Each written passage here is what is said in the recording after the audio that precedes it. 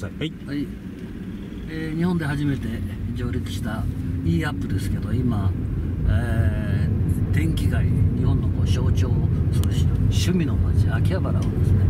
走っておりますが、えー、D レンジで走るともうとにかく僕普通にこうスタート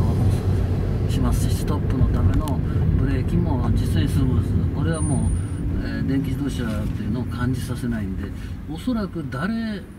どなたかに、えー、これ普通にキー渡して乗ると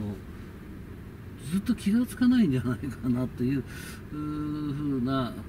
気がします。そういう意味では多分世界で一番普通の車に近い、えー、フィーリングを持った電気自動車ですね、まああのえー、あとは航続距離。をどういうふうに考えるか、まあ、市内で使うのは100キロ以上走りますから、えー、ほとんど問題はないと思いますけども、まあ、あのそういう意味ではまた新しい時代が来たのかなというふうに感じてます。